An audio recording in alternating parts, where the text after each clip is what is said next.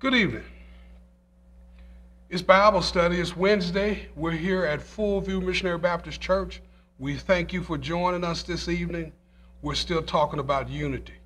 Oh, that this world had more unity. That's what our, one of our main focuses in prayer. I think, and the Holy Spirit continues to inspire me that we need to continually try to do. We're talking about koinonia, unity. That's what we want this world to think about more. And I think each and every one of us needs to try and find more ways that we can contribute to this unity. Join me in attitude of prayer. Dear God, thank you today for the opportunity to study your word. Thank you, Lord, for each and every person who listens in tonight and in the future to this broadcast. And God, thank you for helping your word to reach their hearts, their spirits, their soul, and their minds. Thank you, God for helping us to understand what this message means tonight from this book of Acts.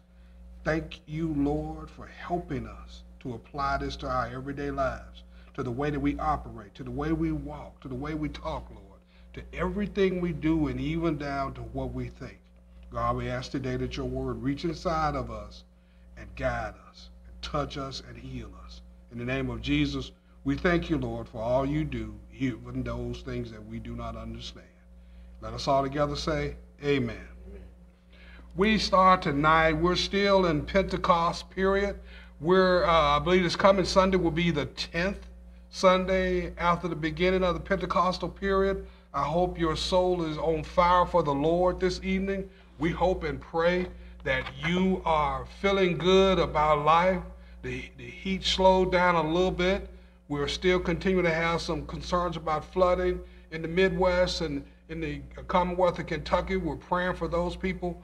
The people out west are still dealing with fires. Here in the Mid South, it's going to be 67 degrees Sunday morning. So uh, it almost seems like fall snuggle weather in the middle of summer. But we're thankful for God and the rains He's brought, and we're thankful for even that. So in Pentecost now, we're still moving forward with all the things that we need to do. As we look at our koinonia slide, we've talked about we're going to be studying again tonight from the book of Acts. Acts chapter 8 is where we'll be.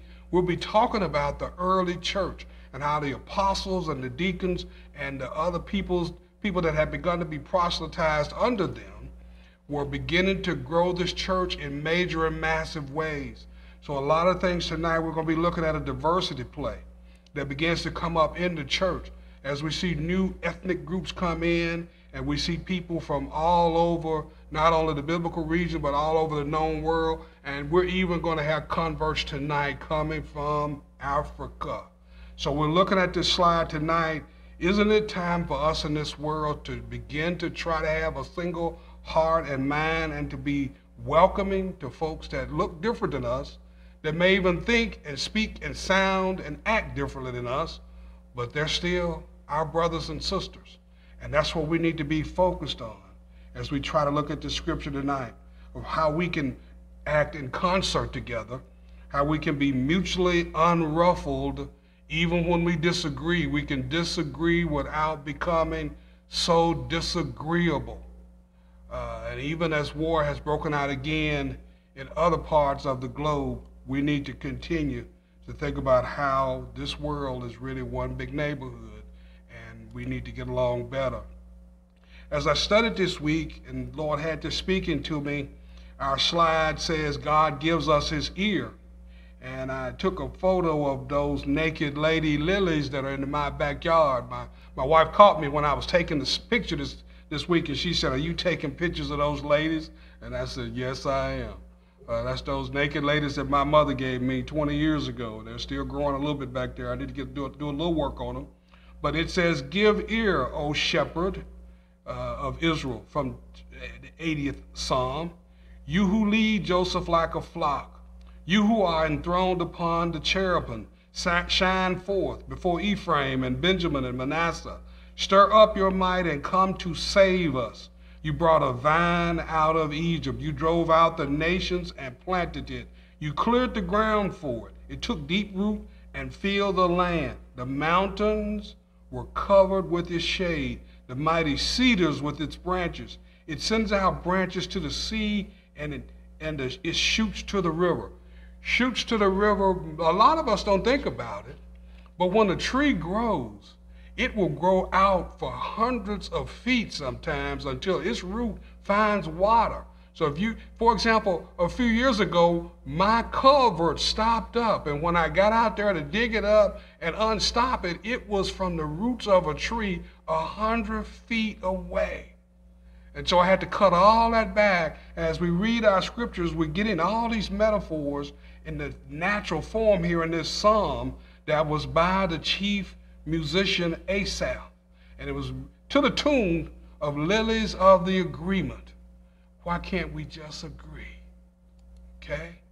We go to our next one, we're reading from the writings of the, of the physician Luke. Again, he is very clear and graphic. And when we read this, this, uh, this sequel to the gospel according to Luke, we need to try and make sure we understand what this man is writing to us about. He's writing about how the Holy Spirit helped to lead the believers to spread the word of God about Jesus Christ, and he gets down to the nitty gritty. A lot of what we're seeing happens tonight is, is in Samaria and in and around the whole Judean territory, and we've got visitors from Africa and even further up north. So Luke is again uh, giving us tonight. Paul is becoming more involved in tonight's lesson and in not a good way. We saw this slide that we gave from last week, and uh, this picture I put in this time was from my African American Study Bible, depicting Paul probably a whole lot more like what he looked. Remember that at one point later in the book of Acts, a Roman soldier says, Paul, I thought you were that Egyptian. Okay? So Paul was an Egyptian looking person, and uh, yeah, Egypt people are more, have some melanin to them. So as we look at these biblical folks, let's begin to understand what these folks really probably looked like and be truthful about that. So here's what we're teaching tonight. Temptation is ever present, especially during times of church growth from righteousness. The point we're making tonight is we can talk about Jesus wherever we go. We're going to see some people tonight that they're going to take their chariot and turn it into a synagogue. Where do we have church? Do we have church at the gas station? What about in the uh, checkout line at the grocery store? Do we have church sometimes when we're driving through the streets? I heard the other day some people were, a friend of mine said he was on the interstate and two cars were riding around as if they were ready to start a shootout on I 40. And he slowed down to let them get on out of the way and I was going, how in the world do you get mad enough about whatever happened on the interstate to start a gunfight? But we see it too often. So don't forget to pray, even in situations like that. That's what my mother used to say quite often when her children left home. She would say to us in parting, and she seriously meant it, don't forget to pray. And remember, if you got to gossip, it's awfully tempting to gossip, but if you got to gossip, Gossip about Jesus, share the good news about Jesus Christ if you need something to talk about. Okay? That's our thing tonight. That's our point tonight. And, and uh, as we're still continuing to transition at this church, we're looking at unity amidst transition and encouraging you to do that in your life wherever you are as you move to and fro today, tomorrow, and the next days. We're looking tonight at some intersections in this book that we're studying tonight. You know, you know how you have an intersection? One street crosses another. Uh, right here, we're looking at the intersection of Dallas Nelson on the left, in the middle, Jack Lewis, and on the right, Gus Mustafa. As we look at their stories, how do they intersect?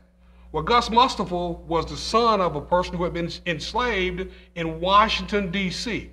He is the 2X great grandfather of our former member, Brother Barry Mustapha. He and I talked over the weekend as I thought about him uh, I was watching a documentary on Derek Jeter's life, and I thought about his son playing baseball down in Georgia, hitting that ball hard. And I said, if Derek Jeter can, you know, Braxton Mustafa can too, just like Gus did. He grew that sugar cane and he told everybody about it. And as we look at what's going on tonight and get into what happened to Stephen, Stephen was lynched.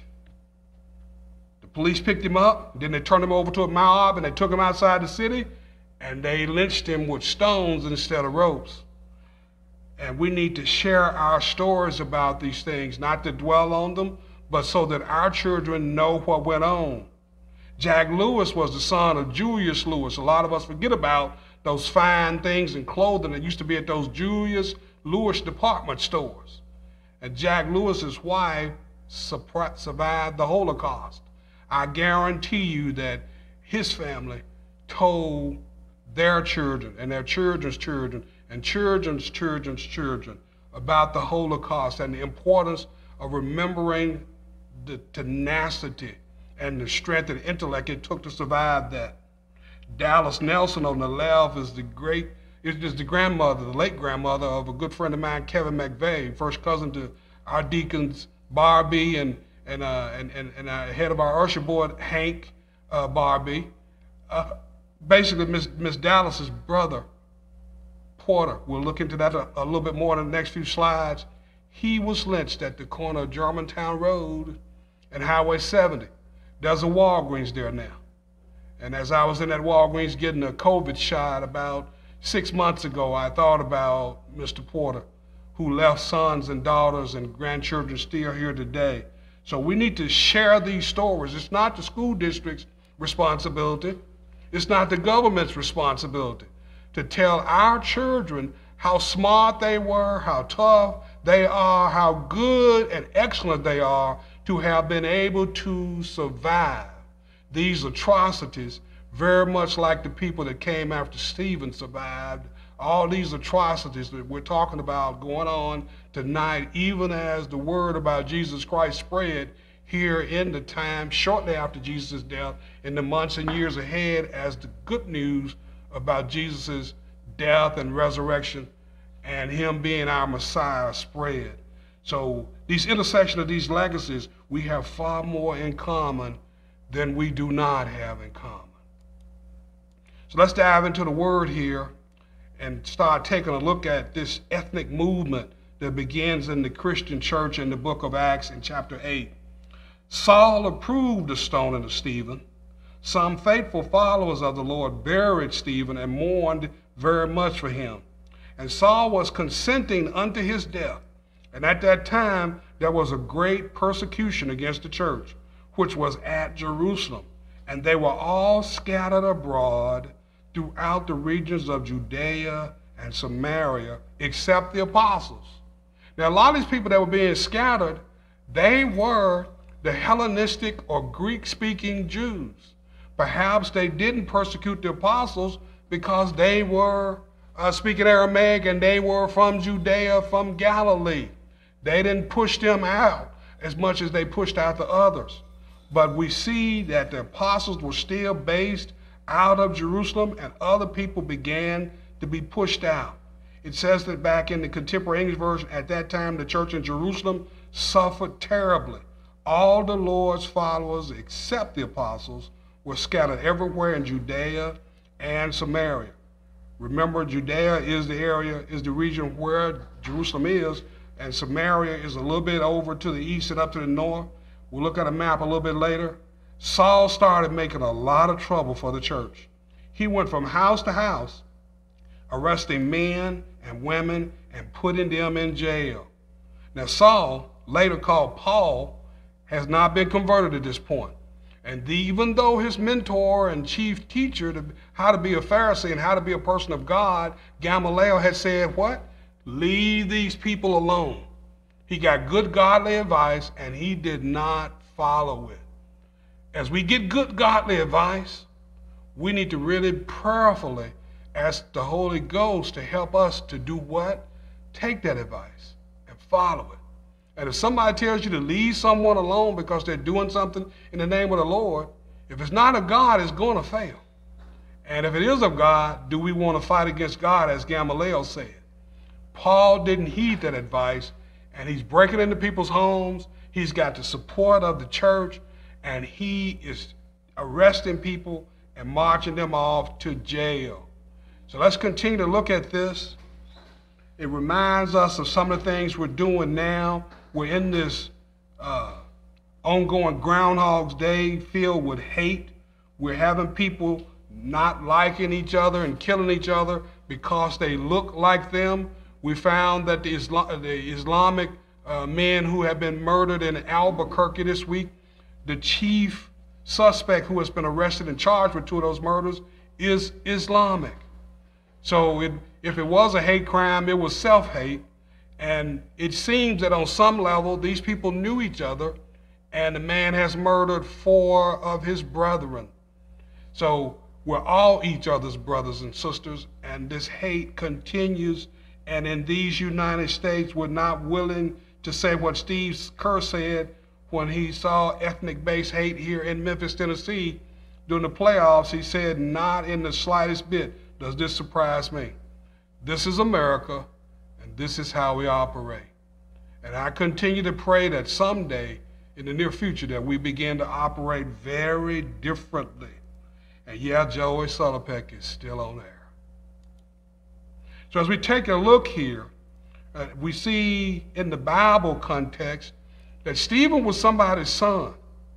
And with him being a deacon, he probably was somebody's husband. And if he was somebody's husband, he probably had children. So he was the son of someone and he had been murdered.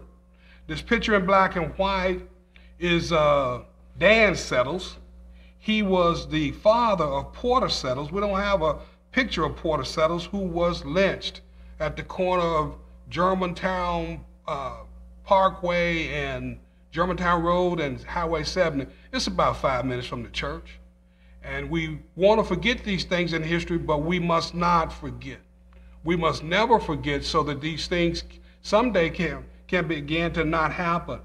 Uh, two years ago, when I retired, I went into uh, a, a business to ship a package, and the person who was taking my information requested my driver's license. When I gave it to him, he refused to hand it back to me. He put it on the counter.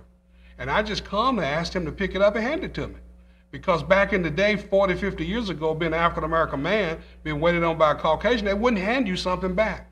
So I saw this form of many hate, and I said, You do understand that this is why we're having so many problems in this world. A young woman who happened to be African American rushed out of the back and told me I didn't need to give him a history lesson. And I told her, I said, Obviously, I'm sorry, young woman, you don't know what you're talking about. This was early March 2020. I said, This country is about to explode on race. We didn't know it yet nationally, but Arbery in the lower right there had already been murdered. And within two months, George Floyd was murdered. And I told the young woman in the ensuing debate, I said, you know what? I know how to handle this. Just give me my things and uh, get through with my transaction, and I just don't have to come in this business anymore. Because obviously you guys don't know how to treat a customer, and I'm simply asking you to hand me something back in my hand, and you're sitting there telling me that a person who happens to be Caucasian, who who still's refusing to hand this to me, and you're not his boss, and you're African American, and you're telling me I shouldn't speak up about this. We should speak up. And this is what got Porter Settles murdered. He was a blacksmith, a big, strong man, I'm told. From the way he was described, he sounds a whole lot to me, you know, like Hank Barbie. He was strong, he was good at what he did, and when he got ready to put his shoulder to a load, it moved. And the community that happened to be not African American didn't want him to do blacksmith or farrier services for those people that looked like him so that they couldn't, couldn't succeed with their farming. And over that, they murdered a 33 year old African American man. It's our job to know these things and to share them with our young people so they know why it is so important to have the privileges we have today, to live the way we have, to become educated, to become skilled, to work, and to know how strong that you have to be to survive the things that Jack Lewis's wife's family survived, that Dallas Nelson's family survived. It was her brother who was killed. So back to our scripture here. Uh, the people were scattered place to place. Therefore, they were scattered abroad, went everywhere. Therefore, they that were scattered abroad went everywhere preaching the word. Just because you get scattered, just because these things that are terrible happen, doesn't mean you get to stop talking about the Lord. Doesn't mean that you're not a Christian. Doesn't mean that you don't believe in God. Doesn't mean that you still forget that our job is to spread the word of Jesus Christ. Then Philip went down to the city of Samaria and preached Christ unto them. And the people with one accord gave heed unto those things which Philip spake, hearing and seeing the miracles which he did. Many people with evil spirits were healed, and the spirits went out of them with a shout. Sounds like an exorcism going on. A lot of paralyzed and lame people were also healed. So Philip has the same gifts that we saw Peter and John did while they were in the temple, and they said to the man, Such as I have, give us ID, thee. And they Peter grabbed him by the hand and pulled him up and said, Rise up and walk. And the man did. Here is Philip, a deacon, so full, filled with the Holy Ghost, so spiritually strong that he's doing the same things that we saw the 12 do. Everyone in that city was very glad because of what was happening. Yeah, I guess so. Cousin Nini's brother, your sister's boy, couldn't walk, and all of a sudden, yeah, he could go to work like everybody else could. That woman with an issue of blood, all of a sudden, she was healed and no more issue of blood. People that were blind, all of a sudden, they could do that. I was seeing on TV the other day a person who had been paralyzed in a car wreck. Paralyzed people were up and moving around for a change. So, yeah, this is a great, joyous time in Samaria, and this is the same city that Jesus had spoken to the woman at the well in. So, as we look at this map in front of us right now, this word is beginning to get ready to get out, y'all. This church is going to explode because of all these wonderful things that people are seeing happening. And in a moment, we're going to see, this, as the scripture continues, that Greece and Macedonia and all over the uh, Aegean Sea and the Mediterranean area, everywhere in the known world in the Roman Empire, is going to begin to hear about Christianity. When you good th- do good things in the church and in the name of Jesus and God and with the help of the Holy Spirit, the word's going to spread. How do you grow a church? You act like church folks ought to act. You're concerned about people's needs. You're concerned about their healing. You're concerned about being kind. You're concerned about finding out what ails them. And as best you can with the power of the Holy Spirit, you try to heal that. That's what the apostles were focused on. That's what the deacons were focused on. That's what the people that were in the church were focused on. And as we studied last week, and no one wanted for what? Anything. Okay? So as we look at this next slide here, as I said just a moment ago, Satan meant it for our bad. Yeah, he did. But, you know, on the right there, we see that depiction of uh, our Dutch painter, Rembrandt, uh, his depiction of the stoning of Stephen. Somewhere in that crowd, those folks' coats are laying at the feet of a man named Saul. And as we see that, yeah, we see in the next slide, moving from right to left, right there in Jerusalem, at that point above Judea, we see the red lines coming out of there. People began to get on the highway, at the byways, and they moved out of town. It's too hot in Jerusalem. They're murdering people over there just because of what we believe, and we believe in a, in a, in a man named Jesus Christ, who was the Son of God, who was crucified on Friday and rose on Sunday morning and appeared to us. And it hadn't happened yet, but continuing to move to the left. We see in our third slide from the right to the left that one of these days Paul's going to be going to begin, begin to understand this, but he doesn't yet. And we were reminded that this same city in Samaria, where Philip is and is ministering, is the same place where Jesus had visited and spoke with the woman at the well. And she said to him, What does a Jewish rabbi like you doing talking to me? Y'all know a mixed race. Y'all know that we don't worship at Jerusalem because you're not allowed in the temple if you're from Samaria. Y'all don't even come over here. But here Jesus was, had maneuvered away to be in the middle of the day at the well when it was so hot. Like it was hot like it was last week. It was hotter than that probably in, down, in, in, downtown, uh, this Samaria, uh, Samaritan city. And the woman comes out because she's living a life she's not proud of. And she comes out at noon instead of in the morning or in the evening, in the cool of the day, to draw well water. I remember when I was a boy, we would go to the well with my Aunt Emma Lou, and we'd draw that water out of that well out of a cistern about 300 feet from the house. And it'd be in the mornings or in the evening when we went to the well. And this woman came because she didn't want to deal with the gossip. And Jesus told her all about herself. And when she went to the town, she told the folks some of the same things Philip was telling them. I met a man that told me all about myself.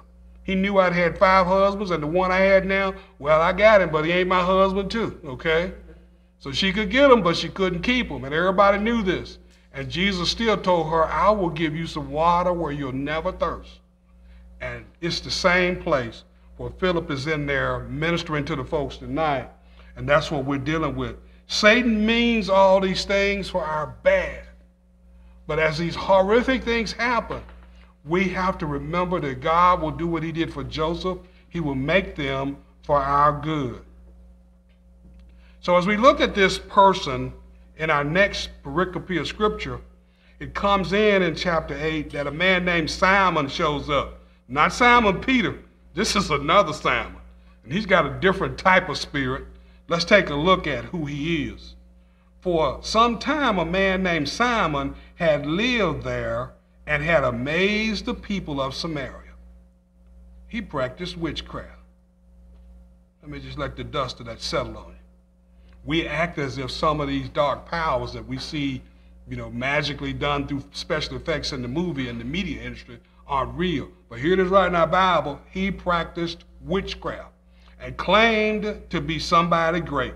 Everyone, rich and poor, crowded around him. They said, This man is the power of God called the great power. I remember when I was a boy, a lot of people used to drive from my hometown in the area I call Tennessee, and Memphis is in that same area. We drove right, they drive right across the Mississippi line about 50, 60 miles down to a town. I won't call the name of it because don't want to shame anybody, but they went down there to see a man who was a known sorcerer. And he supposedly had powers. Whether he had powers or not, I don't know, but a whole lot of paychecks were spent down there, and people went to him. And as I studied this this week, I thought about this. In verse 11 in the King James, it says, And to him they had regard. Because of that, of long time he had bewitched them with sorceries. Now, this is right in our, you know, King James version of the New Testament that we're reading here from the uh, the physician Luke. But when they believed Philip preaching the things concerning the kingdom of God in the name of Jesus Christ, they were baptized, both men and women. Then Simon himself believed also. And when he was baptized, he continued with Philip and wondered, beholding the miracles and signs which were done. In the contemporary English, it says, even Simon believed. So the sorcerer became a Christian and was baptized. He stayed close to Philip because he marveled at all the miracles and the wonders. But was he there for the right reasons? Let's see. The apostles in Jerusalem heard that some people in Samaria had accepted God's message and they sent Peter and John. Now, the 12 were back in Jerusalem. The Hellenists and the deacons had spread the first deacon, Stephen, he was dead. He'd been lynched. Y'all, when the law picks you up and then they turn you over to the hooligans and they take you outside of town, sounds like an Emmett Till trip to me, okay? Somebody claimed he did something, they told a lie about it. Somebody claimed Emmett Till whistled at a woman. Later, she recanted, no, you know that boy didn't whistle at me. What colored boy in 1956 Mississippi whistles at a white woman out loud. Even one from Chicago knows better than that, okay? All right? So they took the boy out, and we know that story. Sounds like the same thing that happened to Stephen. Sounds like the same thing that happened to Jewish people. And it's the exact same thing that happened to Porter Settles and thousands of other African Americans in this country. And it's not okay to teach that in school. So since they won't teach it in school and it's against the law, it's up to us to teach our children why it's such a privilege to go to school, why it's so important to be the best street sweeper or whatever it is you do on the nice jobs that you're privileged to have these days. Like Dr. King told us, if you are a street sweeper, be the best street sweeper. You know, Pastor Mack was giving us some of his testimony this past week, and he was saying that when he became called to preach and he went to his grandfather, the first job that his grandfather gave him was cleaning up the bathrooms at the church. And I've told you before that when I look at my Social Security statement, I got an email from Social Security this week, and I didn't have to look. because I know the numbers that are out there. And I was like, the first number Social Security knew I was on the radar. I was cleaning bathrooms at my high school and glad to do it. And I did a good job too. And if you're blessed to have a job today, do the best you can. So if you look back at this good news, they dispatched their two top preachers, the two top evangelists, the two top apostles, Peter and John. They said, y'all go down and check it out. Because you know those Samaritans, they ain't pure Jews. They're mixed up. They got some Jewish people in them. They got some people that were brought in after they took us off to Babylon to the east. They got some people that were brought in after Persia took over. They came down from Assyria after Assyria took over. And they bred with us and bled with us. And they formed some kind of Judaism that we don't agree with. And they don't worship on the mountain at the Temple Mount in Jerusalem, in the second temple where we've been worshiping now for hundreds of years. They're over there off somewhere to the other part of the area in Samaria, closer to the Mediterranean Sea. And you need to go there and check that out, uh, John and Peter, and get back with us. Who, when they were come down, prayed for them that they might receive the Holy Ghost. For whatever reason, these people had begun to believe in Jesus and had begun to be baptized, but the Holy Spirit had not yet visited them. In verse 16, it says in the contemporary English, before this, the Holy Spirit had not been given to any of them, though some of them had been baptized in the name of Lord Jesus. Peter and John then placed their hands on everyone who had faith in the Lord, and they were given the Holy Spirit. After church Sunday, those people that wanted to, that were students and staff of schools and, and teachers at schools, we anointed them. We didn't really totally lay hands on them like we do, we're going to do when Pastor Mack is installed the third Sunday in September. But the, the apostles, Peter and John, laid hands on these people and they received the Holy Ghost. Okay? And that's good news, y'all.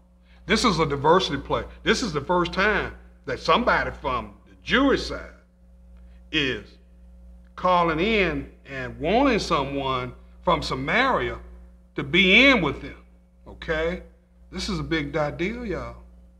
These folks were different. These folks don't like each other historically. You talk about Republicans and Democrats mixing like gunpowder and, and, and, and, and, and fire. That's nothing compared to the way these Jewish people feel about Samaritans, okay? So this is really good news. And all of a sudden here, we're going to have to stop bringing up that ugly thing that happens when you get a lot of church folks coming in, because a whole lot of reasons the people in Jerusalem were mad at the Christians was the Christians were wanting for nothing. And why were they wanting for nothing? Because they were sharing resources and they were bringing it to the church leaders. And well, what was that doing to the collection plate over the temple? It's making it stay a lot more empty, okay? At money, you got to be careful about your love of money. You need money to do everything, but you can't worship money. It's not your God. I remember when I was a young man, the O'Jays put out that Ship Ahoy album, and it started out with a real strong boy. I'm certain he was white, because I, I remember I watched him on YouTube this week to make sure that he, he played like a strong white boy playing that big, strong bass lead, where it went dunk, dunk, dunk, dunk, and it said the love of money would do what? Cash money? Dollar bills? All kinds of things happen in the love of money. And you're going to see in a moment why I'm playing this up, because this is a big twist in the story that we have to deal with and make sure in us personally that we're looking at it properly. Because if you get too caught up in the love of money, uh, as Peter's going to say in a moment in the scripture, your money and you will both end up in hell. Okay? And we're not here trying to get anybody to go there. So this man, Simon, is coming back into the play. He's been hanging around. He's converted to the church. He's a church member, y'all. He's on the roll. okay? and we see now he wants to be uh, on the ministerial team. Simon noticed that the Spirit was given only when the apostles placed their hands on the people. So he brought money, big donation, y'all. And he said to Peter and John, Let me have this power too then anyone I place my hands on will be given the Holy Spirit. Now, he was paid to be a sorcerer, And that was the family business. But when Christianity came to town, the people didn't need him because even though he was doing these tricks and things, he might have been making some fire, making some rabbits come out of a hat. We don't know what he was doing. But he was doing something that really wowed the people. And all of a sudden now, the Christian leaders are doing a bigger thing. So he wants to get back in the family business in a big way. And he makes a big donation so he can get this power. He is bound by evil and his love of money and jealousy that they're not talking about him being the big great thing anymore. Now they're talking about what? They're talking about Peter and John and Philip. And Peter said to him, You and your money will both end up in hell if you think you can buy God's gift. In the King James, it then says, Thou hast never, has neither part nor lot in this matter, for thy heart is not in the sight of God. Wow. Your heart's not in the right place, Simon. You know, here's Simon to Simon, right? Remember Simon Peter? They both had the same given name with a different spirit.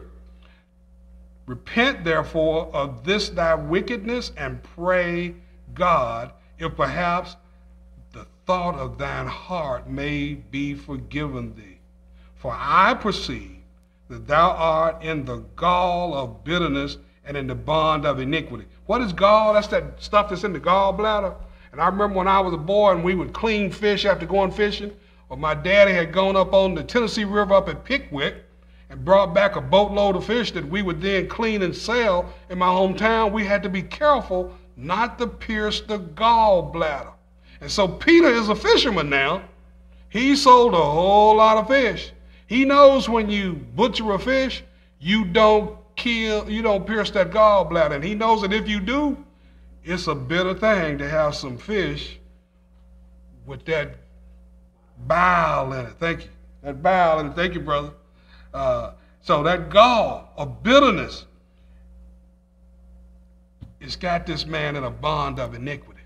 We have to make sure that we're doing something for the right spirit, for the right reasons. And we got to be real careful around that dollar bill, like the Mo, you know Moj said, for the price of money, all kinds of things. I won't even get into the detail because I don't want to offend anybody, but all kinds of things uh, happen for that dollar bill, okay? You got to have that dollar bill now. But be careful about the love of money. Simon, not Simon Peter, but this Simon the sorcerer who's backsliding right now. He's on the church rolls. He's there on Sunday. He's helping pass out the communion on first Sunday, but he got a wrong place in his heart.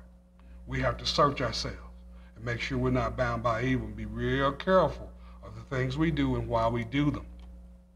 This past week, as I studied this and started thinking about all these things that were going on, I remembered again, like I said earlier, my mother would say to me what Peter said to this man. He said, Don't forget to pray. Simon said, and this is Simon Peter saying to the other Simon, oh no, I'm sorry, I'm getting mixed up. This is Simon the sorcerer saying, please pray to the Lord so that what you said won't happen to me.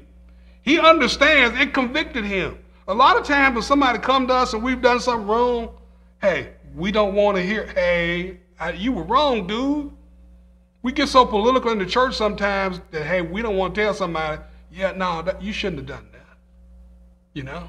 you shouldn't have done it. And when somebody tells us something that we shouldn't have done, and then we know we shouldn't have done it, we ought to say to that person, yeah, I'm wrong, and please pray for me that I can get my heart straight. And to Simon the sorcerer's credit, he said to Peter, please pray to the Lord so that what you said won't happen to me. Dude didn't want to go to hell. He had been a sorcerer now. He'd been working with Satan a long time. It was his business. He knew what hell was going to be like, and he didn't want to go there after Peter and John had preached about the Lord, big time good revival, y'all. Big time over in Samaria. A lot of things to report. They went back to Jerusalem, and I'm sure they reported to the other 10 of the 12. And unlike the Hebrew spies, spies where 10 did not believe and two did, only Joshua and Caleb believed. When they got back, the other apostles were probably amazed but they were on their way. They told the good news in many villages of Samaria. So they preached on the way there, they preached when they got there, and on the way back, they converted more folks. So you got a lot more Christians all over Samaria to these ethnically different people than the Jewish people back in Jerusalem. Even ethnically different than the Hellenist Jews, those who were born Jews in other countries and spoke other languages, and those people who had been proselytized from other ethnicities and joined Judaism. So you're getting to see this whole diversity thing going on that we in the church need to be focused on. That when we see people that are different than us, they're still God's people. When we see people that look different than us, they're still God's people. We don't joke about it. We don't talk about it. We don't act unconcerned when their people got murdered, like the four Islamic men got murdered in Albuquerque over the last uh, month or two, and I think a couple in the last week. We need to be prayerful for them because their sons and husbands and, and, and, and fathers have been laid to rest. You know, my blood ran cold when I saw that man this week say, I don't care about anything because my only brother has been killed. My God. And then to find out later it was someone who looked like his brother, who was Islamic like his brother. And Islam is a, is a, is a religion of peace, as Christianity is supposed to be. But I'm certain that the people that killed Porter Settles at the corner of Highway 7 and Germantown Parkway were at somebody's church, and I'm certain when they did it, it might have even been in the commercial appeal, like it was when they murdered the people at the four-way grill, four-way stop at Mississippi Boulevard and Walker Avenue, you know, way back in the 19 teens. So we need to be concerned, sorry, 1870s was when that really, when that happened, 1870s, 1880s. So these things have happened all over. And it is our job, in whatever culture we're in, to share these things, not in a bitter way, not in a galling way, so that we can try to make sure that there are no more Ahmaud Arbery's. I told those two young people, and their boss was so afraid. You know how I get sometimes when I get in on these things? Because I was trying to get these young folks to understand when this man can't see me as a human being, this is why I get killed in the street. Because you see me like a beagle hound, like those 4,000 hounds that were being mistreated and they're trying to give away from all over Virginia right now and all over the country. I'm a man like Martin Luther King's uh, marchers said when they, he was here. I'm a human being, like God said. He, when he formed Adam and Eve, he formed a part of me that's still in me. And we need to begin to look at people like that. And we need to understand that as they killed Stephen, they killed Porter Settles. And they killed the three men that owned the grocery store and objected when uh, they were being mistreated because they were succeeding at business. And as we look at all these things, like Maydi told me, don't forget to pray. Because what else can you do when you see these horrific things that are going on in our country and in our world and all over our communities? So as I looked at all this this week, I'm a graduate of Memphis State University. When they marketed to me that you can get a new diploma with University of Memphis on it, I was like, no, I like the name Memphis State. And I get excited when the teams wear the throwback uni uniforms. We're right here on this picture on our screen right now. Let's go back to the uh, Memphis State 8 slide, please, sir. Uh, in that upper right corner is retired Major, Air Force Major Luther C. McClellan. He was part of Memphis State 8, the first eight African Americans that went on campus and got it done. Brother McClellan came in there as a sophomore after one year at a local HBCU, LeMoyne-Owen, and he, he, he majored in math, y'all. That's a real major, okay? When I got there, I, they asked me, well, what do you want to major in, Dwight? I thought to myself, well, not math. Brother McClellan majored in math. He got it done in three years. And as we look at our young people, you know, probably hundreds of thousands of graduates that are African American have come through there since then. But these Memphis State eight, and Brother McClellan has our thoughts and prayers this week because number six out of that eight died this past week. And he had just spoken to him a little bit earlier. And so Pastor called him the other day and talked with him. And so let's keep him in prayer. And let's be thankful for the shoulders like his that we all stand on at different places where we've gone into places and succeeded where folks who look like us has not succeeded before. And like these Samaritans had not succeeded with joining part of Judaism and being involved in the community of God, all of a sudden with Christianity, they diversified. And you're beginning to see this formation of this diversity play that Luke is writing about, him himself being Hellenistic, a Greek person, a person from outside of Judaism who's come in and is writing about all this in graphic detail so that today we can remember, just like we remember that in the fall of uh, 1959 when I was just a little boy, wasn't even, I probably was standing by then, you know, next to my mama's knee. And know, I wasn't quite the knee baby because I was the baby, and every chance I got, I was in mama's lap. But like I say, we have a lot to be thankful for, and we look up to people like uh, Brother McClellan, and he's in our thoughts and prayers tonight. So as we look at this, and I think about as I've had the opportunity to serve you over the last uh, about 16 months now. We've done this together close to 80 times, y'all.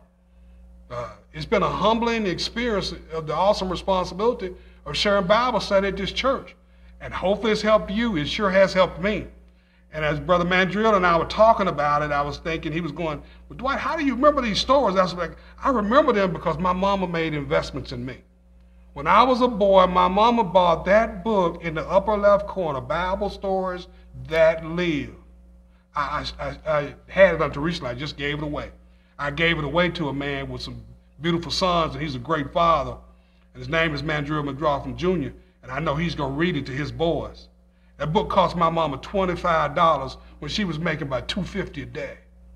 Okay? Do the math. That's, that's two weeks' pay, y'all. And my mama bought that book home, and I was a little boy. I knew we were poor because she sent me to town one day when she was pregnant with my sister Lisa. I didn't know it at the time. Till a month later, she had the baby, and my brother was away at school, and she just told me, Dwight, I'm you're five years old, but here's something I want you to go to town and get. I said, What is it, Mom? She said, We don't have anything for dinner. And I didn't know that about money and credit. When I got up there, the store who was owned by white people wouldn't give me the food. And I said, Why won't you give it to me? Well, your dad owes us a lot of money. I said, You know daddy gonna pay you. And we ain't got nothing to eat at home. I'm five now. And I've walked about a mile and a half to town by myself. My mom was at home eight months pregnant with Lisa, and a thunderstorm popped up. It was August, just like a thunderstorm popped up today as I got to church. And my mama had been to the cotton field earlier, like she was in the cotton field, with me pregnant with me up to eight months and picking cotton. And as I looked at my mother a few years later buying this book, I knew that these Bible stories are important. Are we reading these stories to our babies? Do our children know the good and the strength of the Lord? Do they know how good we're going to be and make it? My battery's gone low on me, uh, Brother Mandrill. I may have to switch to you doing the slides on the screen if, I, if it quits on me. We're getting close. And so, bottom line here stories are important for us to share. And I share stories because that's the way my mother shared them with me, like her mother shared them with them. I'm finally ready to write again now. And as we switch into the next part of the scripture, we're going to see that a woman, a man from Ethiopia is going to come into the scene. This is the cover art for my second novel. And as I wrote it, a lot of things were going on in my life, and that is the picture of the woman that came into my mind. I based her on Queen Esther from the Bible, and Queen Esther, who was the great great grandmother of a dear friend of mine. He's going to be preaching in Forrest City, Arkansas in a couple of weeks, and I'm going to be going over to see and hear him preach. And so basically, as I look at all of this, Ethiopia's in Africa, y'all. Those folks in Africa look a whole lot like you and me.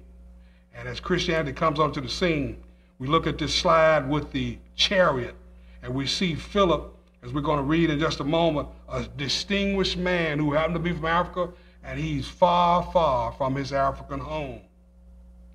So uh, could have worked on a chariot like that. He could have fixed that wheel, and he sure could have shoot the horse.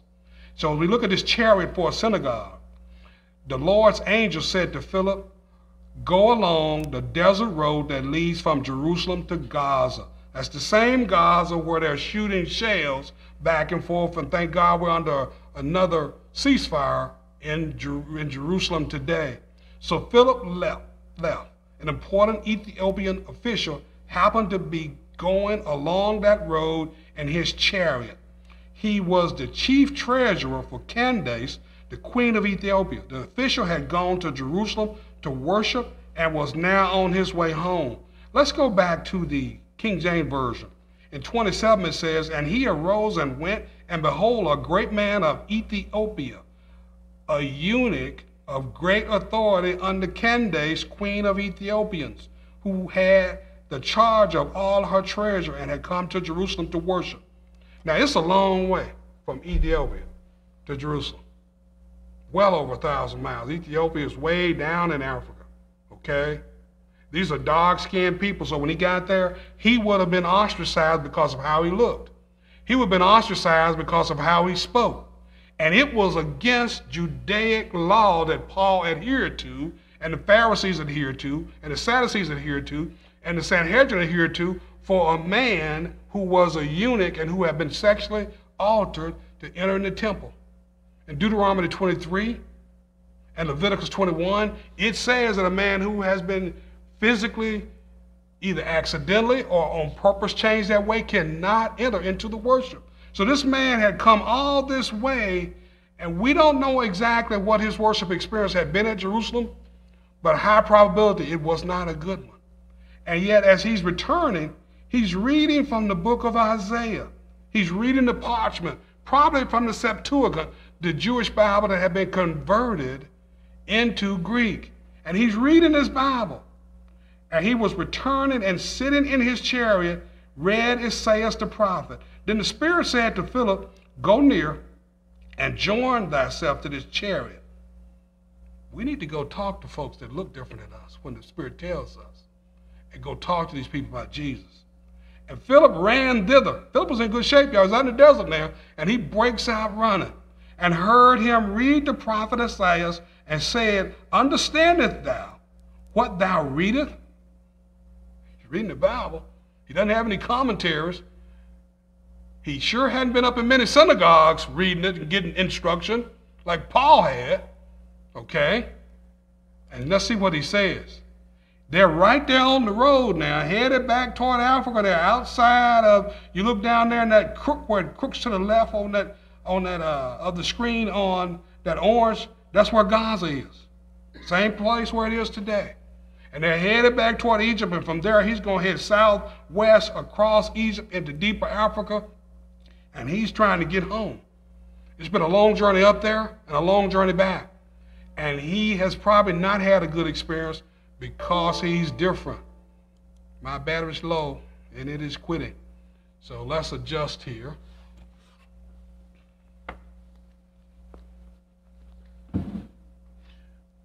Put on the screen for me, Brother Mandrill, where we are on my next slide, and I'll take a look. And I could go from there.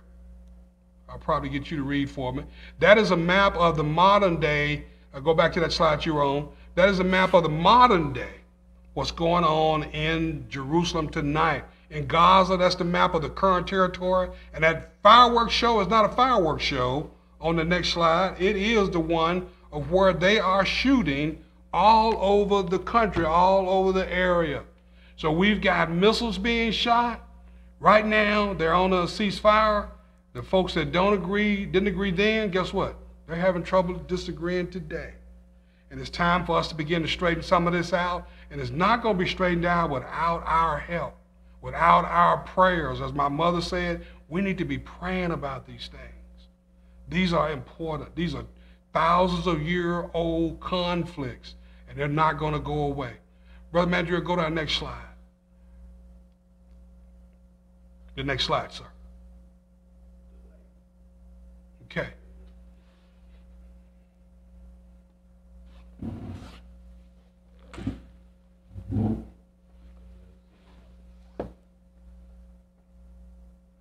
What we're saying here again is these are the same things we're dealing with. We were dealing with in 1968 in downtown Memphis. This is the same reason Rosa Parks had to sit on the bus and, and refuse to get up. These are the same reasons that Porter uh, Settles was murdered. These are the same reasons that Dr. King was murdered on that balcony and got stopped from going to dinner and continue to do the great work that he was doing. These are the same reasons that the uh, Islamic men were killed by an Islamic fellow. These are the same reasons that African American men are shooting each other in the street over silliness. We've got to do a better job of teaching of how to remember. We need to ensure that our children know that a young man named Emmett Till was killed mercilessly for no reason, and that, so why are we killing ourselves, okay? So if we go to our next slide and we work toward finishing this up, move on to the next slide, Brother Mandrill, so I can see where we are.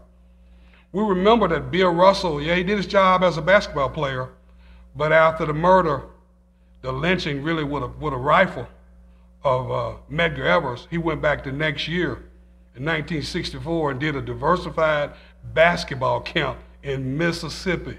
Can you imagine what that was like and what type of courage that took for Bill Russell to do that? But he was that type of man. He heard Dr. King's speech in 1963, I have a dream. And we need to have a dream. And what dream are we working to fulfill? Let's move to our next slide. Apologize for our technical difficulties tonight. All we're talking about this evening is is it's time for us to get connected in ways that we have not been connected. It's time for us to deal with each other's humanity and where we are and take us for the good and the bad that we bring, but recognize that most of us bring more good than we do bad. It's time for us as Christians to reach out for those who are hurting, and you got to be hurting when you shoot someone like they're a dog in the street that you wouldn't shoot, and it's a human being. We've got to do a better job of telling these stories so that, like the, the family of Jack Lewis, as they mourn their patriarch this week, so that these things never happen again that happened to his wife's family. We need to be connected to each other on the level that God wants us to connect to. Let's roll to the next slide. One more time. Uh, this past week, the little deer still running across my lawn, and I'm gonna have to finish up here this, right now. I apologize again for my battery went out. I'll plug up next time when I come in, but we'll finish this up next week. We do want to continue to say to each of us, if you didn't hear Pastor Mac's sermon on Sunday, I've been reveling all week. I'm a water walker now, and if you have not uh, heard the sermon about water walking as Philip walked out, Peter walked out to Jesus, you need to focus on that. We've had good, strong leadership at this church. Pastor Page led us for almost 40 years, and he had a vision. He took us a mighty long way. In the last 18 to 24 months, Pastor Williams has done a masterful job of handling all the powerful forces, sometimes dark, sometimes not so dark. And we now have a great new pastor, Pastor Mac Reynolds. He's preaching and teaching God's word. I'm looking forward to soon when he takes this forum over so I can sit down like the baby bird and get myself fed and sit back and listen to his word as the God gives him, him the teachings that he's going to take this over sometime in September. So as we move forward together, remember, don't be the stubborn person. Don't be the person who's not hearing God's word. Don't be the person that's not willing to be coming in and being unified Remember not to be that stubborn person. Next time I get together with you will be a couple of weeks from now. But when we do, we'll pick up about Philip ministering to a man who looks very different to him. We'll pick up about this eunuch who has been physically altered, y'all. He does not have male genitalia. He is by law not allowed in the church. And we're going to talk about how he becomes a Christian anyhow and takes God and Jesus' message back to Ethiopia. So as we end tonight, join me in the attitude of prayer. Remember, there's still 450 people a day dying in this country from COVID. Remember to stay safe. Remember to wear a mask. If you're not vaccinated, please prayerfully go get vaccinated. Join me in prayer. Dear God, we thank you today for all that you've allowed us to do over time in your name. Thank you, God, for continuing to anoint us like the people were anointed in this book of Acts. Thank you, God, for helping us to share Jesus in the way we act what we say and don't say and in who we are and through sharing God's word. In the name of Jesus, we ask that you touch everybody. We look in on the household of the family of Brother Prater, who was part of the Memphis State 8. We thank you for his service to humanity here and far, And we thank you, God, for looking in on Brother Luther McClinton and his other remaining classmate. We thank you for the legacy that he's given us and left with us. And God, we just thank you for all the blessings you give us. We thank you, Lord, for the direction you're leading us in. And we're excited, Lord. We are excited, Lord, about your word and about our ability to help. In the name of Jesus, let us all together say, Amen. Amen. Thank you, sir. Sorry about that, y'all.